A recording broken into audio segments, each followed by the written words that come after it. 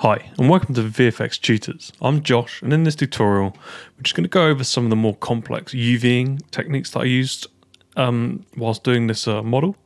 You can see that now I've finished the UVing, so hopefully soon that we should be on go on to the texturing stage.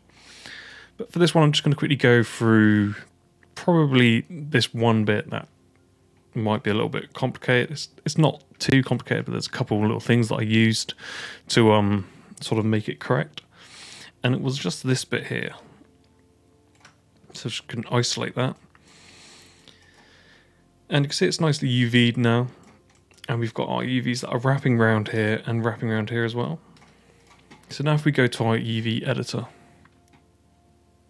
just gonna,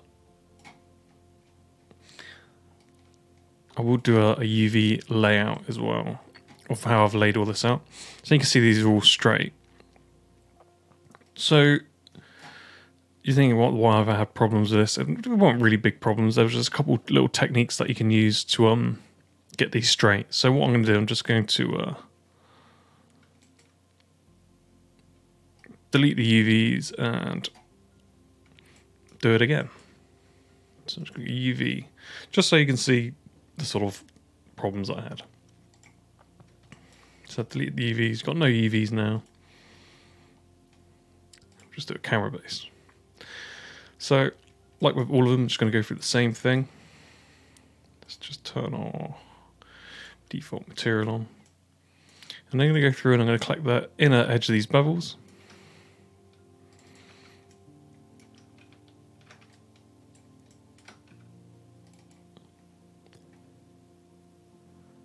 I'm just double double clicking, selecting all those edge loops holding Control Shift to select them all.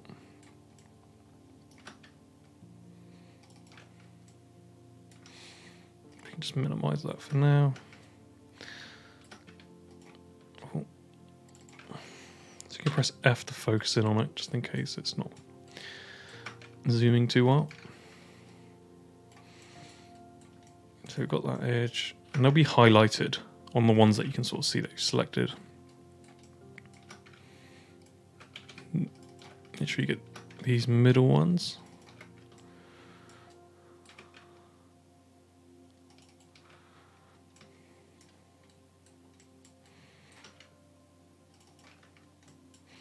There's quite a lot of edge loops to select.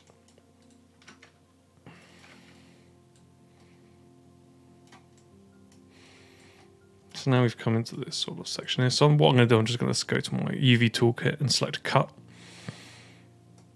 So now I've cut those edges there and you can see them highlighted. Because the way this is sort of built, this is going to be the end. And you know, on stainless steel, it's kind of got the grooves in the in the metal, the texture. So we want to make sure that that's flowing the right way. So obviously they'd be going following it round.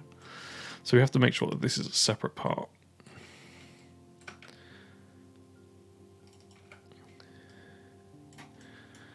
You're probably thinking this is actually probably quite easy to do, and yeah, most of it is pretty pretty easy. So I'm just going to cut that.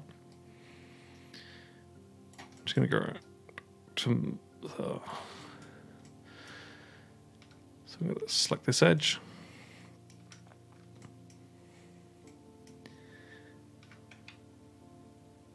And I want to cut these out as well.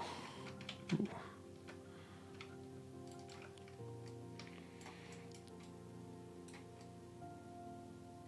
Cut all the way around, which is what we want.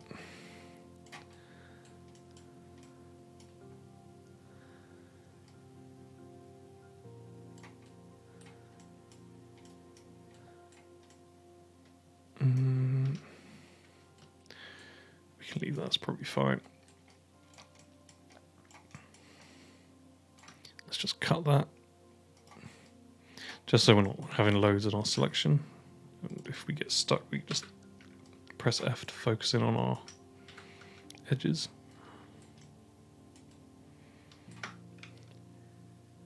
So I'm just going around and selecting all my seams I want to cut.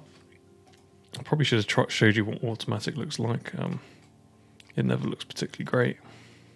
So just select that edge loop. And I've probably missed some, can find them quite easily in the in the UV editor.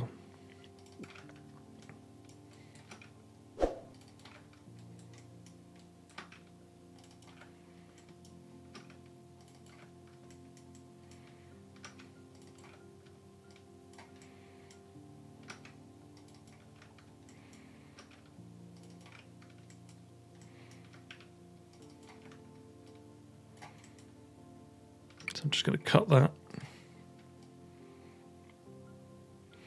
Over my UV editor. Cool. Now I'm just going to start s- selecting my UV shells. Control U. Just going to pull this out the way. Control U again. I'm just going to not worry about the size at the moment.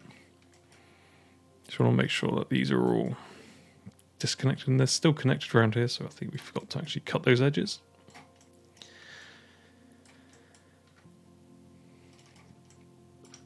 Mm, Select the wrong one. And if we've cut too many, we can just resew it. It's not a problem.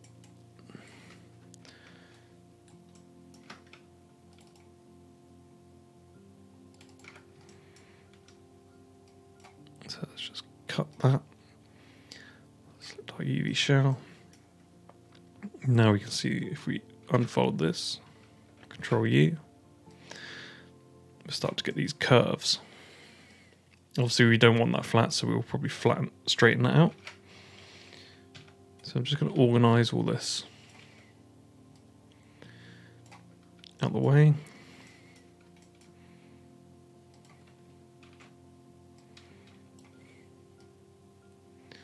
Got some slight curvature there, but it's not as big as these.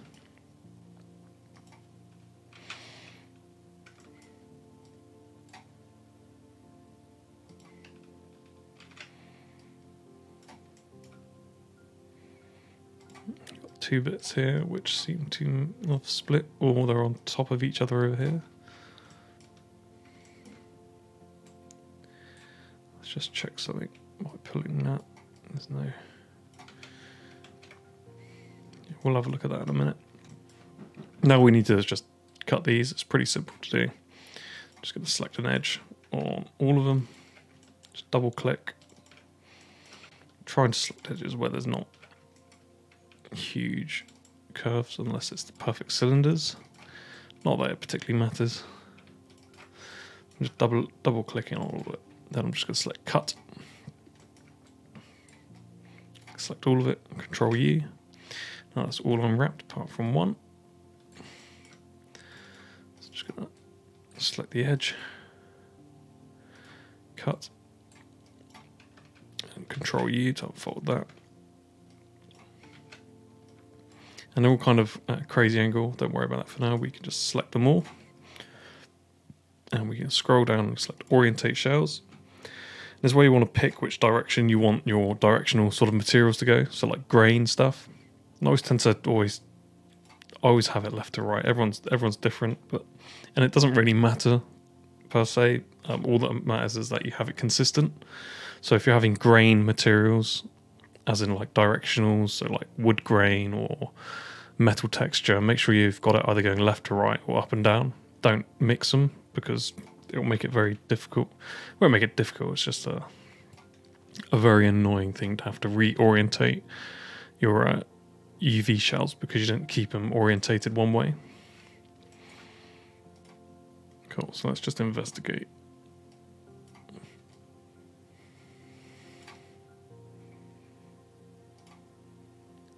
These bits.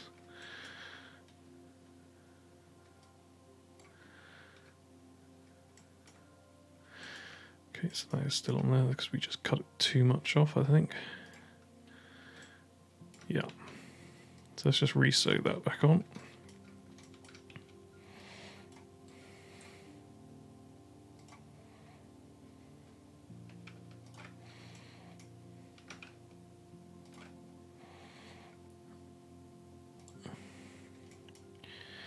It doesn't matter that it's um a little bit wonky. We're going to unfold it again. So rezone that and control U. So now we've got all these parts and most of them are pretty straight. Apart from these ones. And you'll get this quite a lot. You'll have these edges. So if we turn our default material on. And obviously the issue of this let's center on it to try and get good view. Is that if we put a directional texture on if we put a directional texture on this, it's not going to follow it. It's just going to curve down. So we need to make sure every, all our UVs are straight as possible. So one of the tools that we can use is literally just straighten UV. So we can go straighten UVs. And it will straighten them all out, but then you'll have some sort of problems here, which you'll need to fix. So if you just select optimize, and you can see it's sort of breaking sometimes, so you might need to control U, undo that. And you can try it again, see if it makes a, a better result, but I imagine it's probably going to do the same thing. So what we want to do is either try and split this, because this is obviously going to a shorter edge, and because it's on the edge it doesn't matter so much, so we're going to cut that again select the UV shells, control U and unfold. And that's almost straighten that out. We can orientate it. And now let's use the straighten.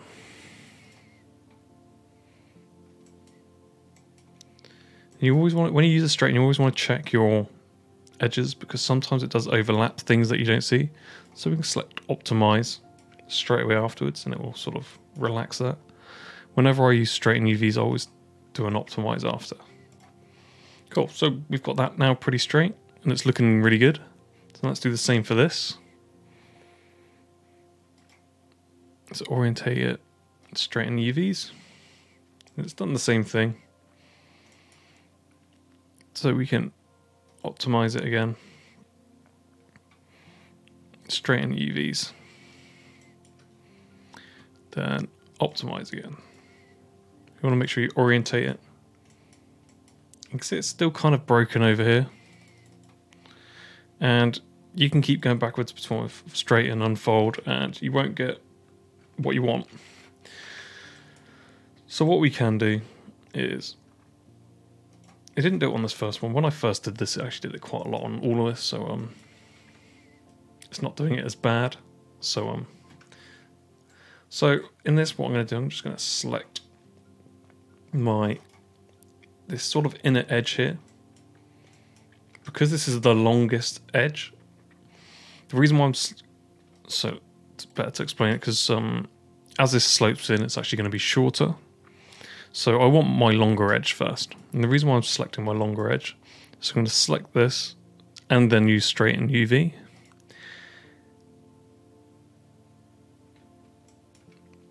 and you can sort of see it's you know actually what we'll do. Go to UV shell and control U. It's not worked so well. We'll go straighten UVs on that. This is what it was doing before it was um and what might be happening with you so it kind of straightens it but it doesn't do it in a very good way sometimes let's just undo that and see if I can actually recreate that again straighten UVs. Yeah, so this was the problem I was having before. It was just not working. So the easiest thing that I could do is once you've done this, after every time you straighten your UV, you want to optimize it. And obviously now we can just do straighten UV and it will still do the same thing. So I'm just going to select optimize so it relaxes it. Then I'm going to go to my vertex. And I'm just going to I'm just going to select these vertices here. And what I can do now, because I've got these flat, I can go to edit, pin selection. So now that's that's stuck there. That's not going to move. So now I can go to my UV shell, press Control U, and it will unfold it. And now you can see that it's sort of it's spreading the sort of straightening out. So now if I edit, unpin all, then straighten UVs, it's it's sort of done it, but it's working its way further out.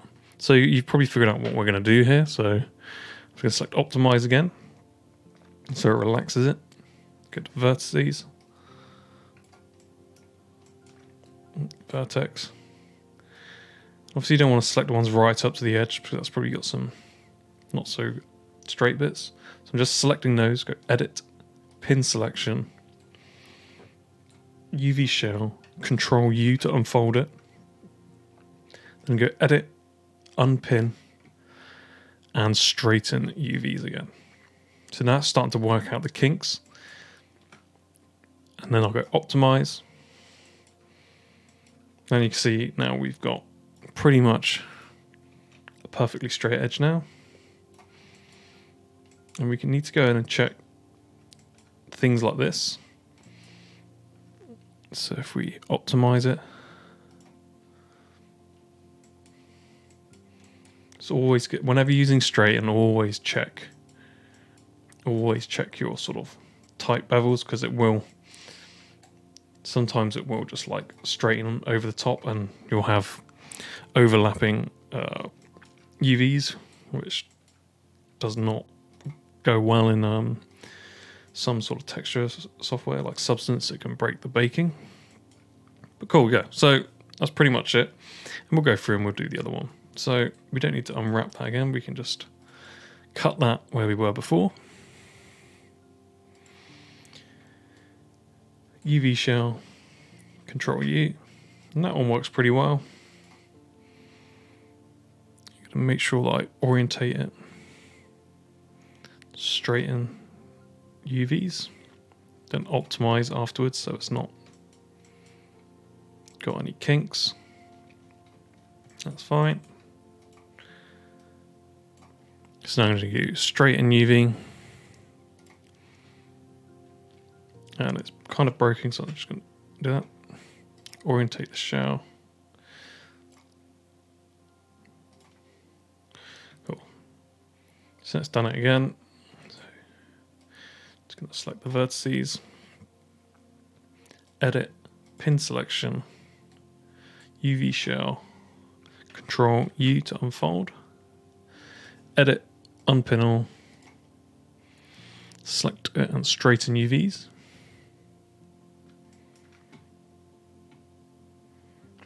Um, I think we can actually just change this. Just looking at that.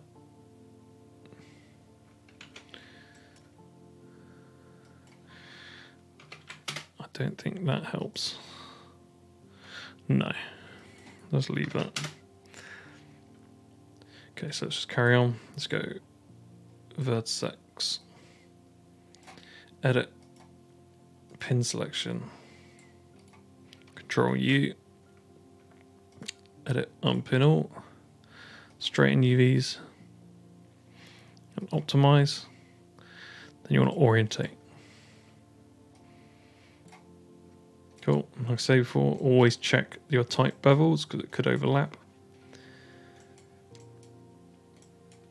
And we're pretty much done. Like these bits are, what we'll do is select all of our, our shells.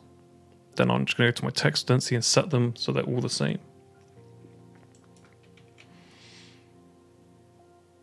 So now I'm just going to quickly uh, organize them just so we can have a quick look and we're pretty much done.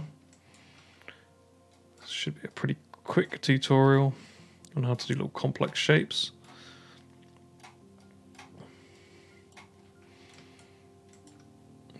Pull this over and organize this. Cool. So we've got all our here, and I always like to sort of when I organize my UVs, because I shift them around quite a lot, I always try to work in a my longest sort of cube section. So at the moment, I'm going to work in a two by two.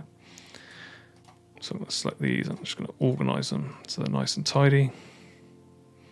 And some people like to put them really like pixel type. Um, there. I sometimes leave gaps. It's not it's not like games where you have to be like you, you have to really optimize your UV space. You still have to do that in VFX. It's just uh, you have more flexibility in VFX, I guess, because you can use way more UDIMs. But having good uh,